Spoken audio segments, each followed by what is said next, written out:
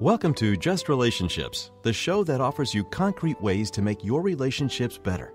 Whether it's your boss, your spouse, your children, or your friends, the quality of your relationships in life directly affects how you feel about yourself and the success you achieve. Your host, Dr. Duffy Spencer, a psychotherapist, telecoach, author, and seminar leader, will interview top experts to help you learn to manage this essential part of your life. And now, here's your host, Dr. Duffy Spencer. Greetings to you.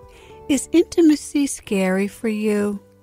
Do you want intimacy in your life and yet can't seem to find a healthy, happy relationship for any length of time?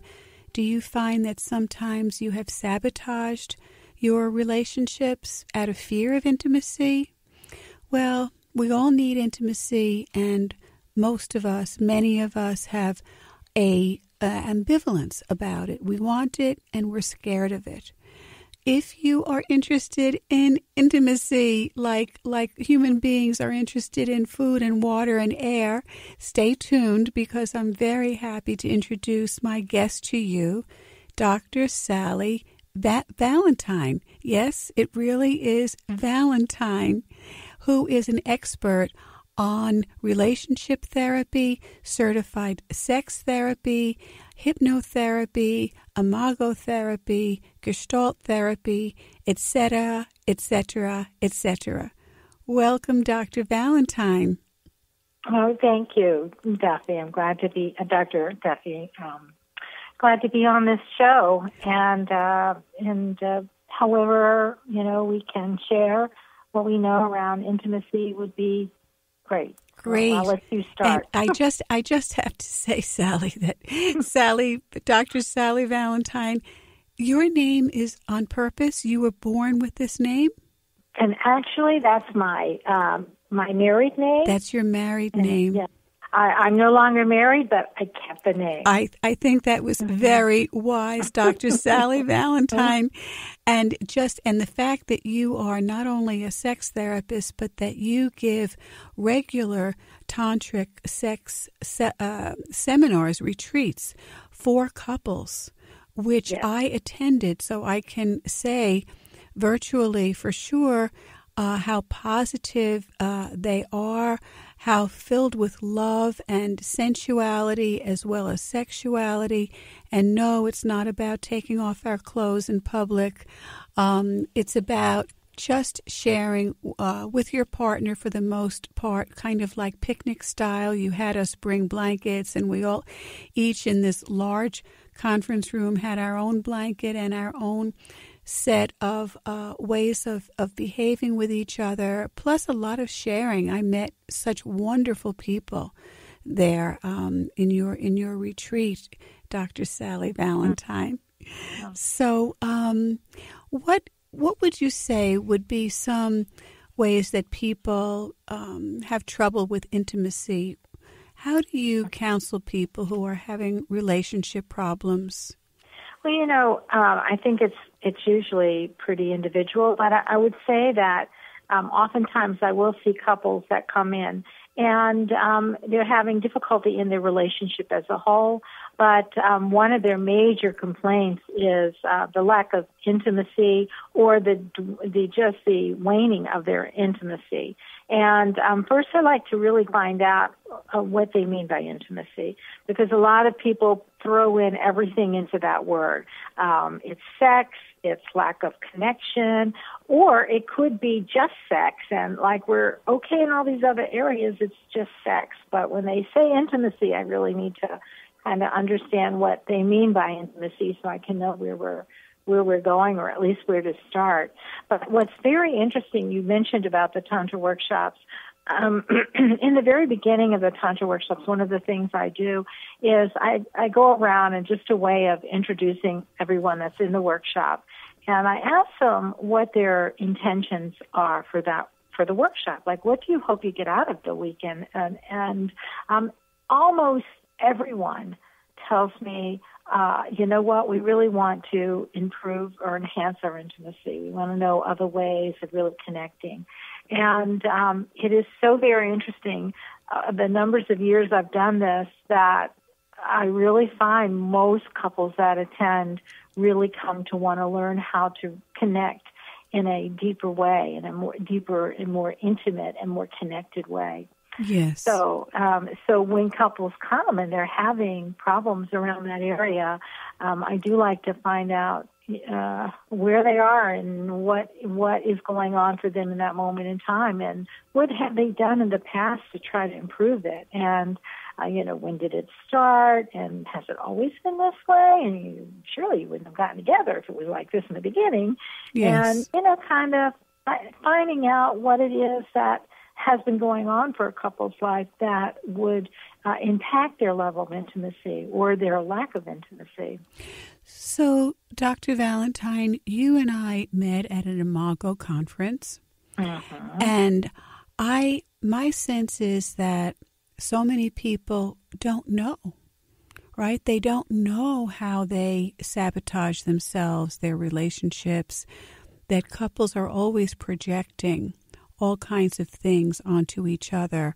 I will project my. I worked with a couple today that um, the husband was projecting his very stern, punitive father onto his wife, who was not at all stern and punitive. She did get angry at times, mm-hmm. and that felt to him when she even used a sharp tone that is as if he was being hit by a, a belt uh, with a right. belt by his father, which is what actually happened. Mm-hmm. And he's so terrified of her getting angry with him that he winds up lying to her. And then this causes her to distrust him greatly. Right. So it's a terrible cycle.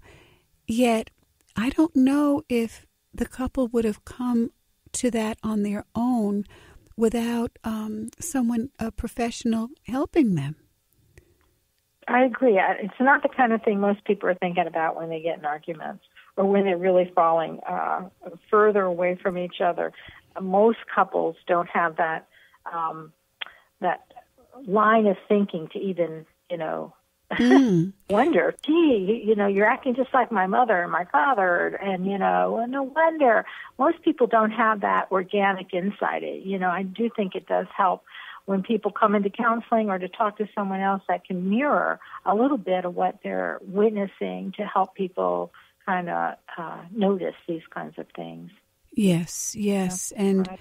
yeah, and I, I, I think that everyone uh, should get therapy. I think every individual should have therapy. I think every couple should have therapy.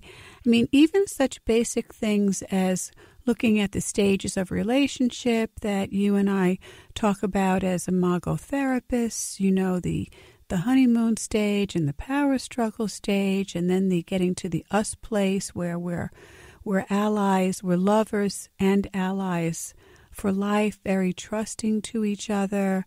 Um, and so when people leave the honeymoon stage and they move into the power struggle stage after they've made an official commitment to each other, people are shocked and, you know, you're not the person I married and what's wrong with you and there must be something wrong with me and and people go on and on and, and they, they really don't even know what's going on within themselves and each other. Mm-hmm. Yeah, it is confusing for sure. Yes. With them and and with their partners, and they're not they aren't usually aware.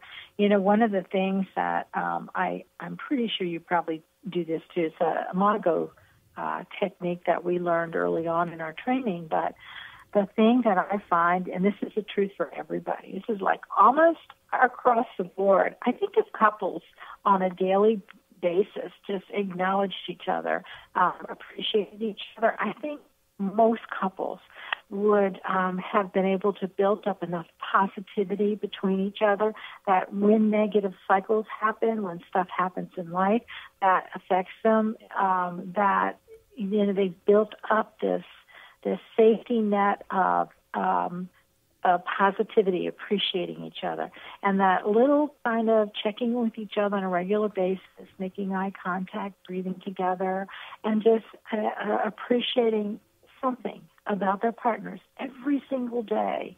Yes, uh, I, I think that is just what soothes the soul and keeps people connected mm. in spite of everything else that happens in life. Yes, I, I just want to underscore that, Dr. Valentine, because um, it's it's so easy to look at what we don't like, and the brain has a has a negativity bias, and so we we have that wired into our brains to prevent us from from dying. Um, so we have to remember danger, and we, you know, it's typical. We we take the good stuff for granted part of the humdrum every day, but to voice, literally, consciously, a voice one one thing a day, but make it every day and keep it simple, one thing, and keep it specific and absolutely sincere. And just, I agree. I, it, changes the, the, the hormones in the body. It increases the endorphins, and it's wonderful. And I think that's that's one reason my husband and I got so much out of your retreat because you had us doing that all the time, and uh, and it was it was we, we you know we appreciate each other, but it was like it was like mega doses of appreciation, and and dopamine, you know, all the the great hormones come up in our bodies when we feel that way, when we hear that kind of thing. And that's right. And um, one of the tantric practices that um, we do a lot during those weekends is the eye gazing. Yes, so I wanted to ask you about that. Yeah. yeah. So the eye gazing is uh, is um, a, a little bit more concentrated than just eye contact. Eye contact is great. That is a great beginning. And when we're gazing into each other's eyes, we're just really softening our face and our eyes and just allowing ourselves to uh, to see our partner and to be seen by our partner. And um, I think that that uh, comment about the eyes, you know, the have, are the windows of the soul, are so true. When when we are gazing into our partner's eyes, we really do uh, and allow ourselves to feel very, very connected. And it really helps uh, energetically connect two people, and really even the attunement uh, between two people uh, kicks into gear as well. And it really yeah. you know, increases oxytocin. It helps decrease anxiety for most people. Some people actually increases their anxiety to look into each other's eyes so much, but um, that well, I deal with that on a person to person basis, but mm-hmm. uh, typically it really helps people um, calm down when they're gazing into their partner's eyes. And, um, you know, it really kind of bubbles up a lot of different kinds of emotions. Sometimes it's just joy and connection. Sometimes it can be sadness, depending on what kind of bumble, bubbles up. Mm. Uh, sometimes people feel a longing and when they feel that connection with their partner and they haven't had that in a while, uh, they they become more aware of what they had been missing. Mm-hmm. And, and so it really brings again this sense of feeling reconnected, uh, you know, brought in together with my partner. So that and that's a beautiful yeah. practice. And that, that that I would love for people to do every day. I think that is if you are with a partner to be able to do that on a regular basis Right. And and what may seem like a really long time doesn't have to be a very long time. You know, we always use the term eye contact, but eye gazing. It is really lovely and I'm I'm proud to say that my husband and I can do it without um, uh, awkwardness. Uh-huh. And um it is it is really lovely. And and when you think about just looking at someone 30 seconds is a very long time or a minute. And we when we think about how many minutes go by that are that are wasted or lost or just speed by if you think you don't have time to eye eye gaze guess what? You have 30 seconds to mm-hmm. really look into your partner's eyes and and the other thing that I found interesting was that you asked us to eye gaze with the various participants in the in the seminar and um, that was a little awkward after a while, um, but it wasn't as awkward as I would have thought. And it was really a way of seeing people. It was a very interesting way to meet people that I've never met before. And you had us bonding so much in two days